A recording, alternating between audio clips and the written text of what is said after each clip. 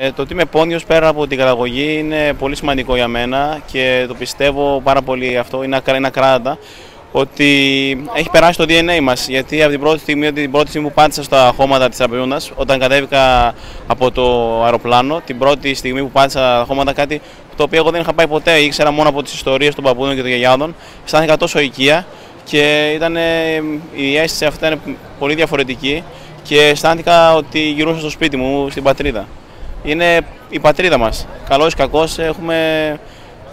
Είναι, είναι, είμαστε στην Ελλάδα γεννημένοι, όμως εκεί είναι η πατρίδα μας. Εκεί είναι, έχουμε 40, 50, 60 γενιές ε, νεκρούς και θαμμένους εκεί σε αυτά τα χώματα.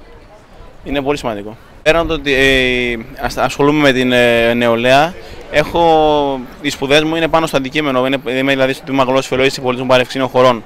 Οπότε είναι άρρηκτα συνδεδεμένο όλα αυτά μαζί και Εννοείται πως ε, θα ήθελα να περάσω και στις επόμενες γενιές ε, στα παιδιά μου και γενικότερα όλοι μας νομίζω θέλουν να το κάνουν αυτό, να περάσουν αυτή τη σπίθα, αυτή τη φλόγα του ποντιακού στοιχείου. Η Εκτονία από τις ιστορίες ε, των προγόνων μας είναι ένα, ένα τραγικό γεγονός, ειδικότερα επειδή ο πατέρας μου έχει καταγωγή από την Πάφρα, οι θηριωδίες που έγιναν στον Δυτικό Πόντο ήταν πάρα πολύ σκληρές και οι άνθρωποι δεν θέλανε καν να, να πούνε για αυτά που, που πέρασαν.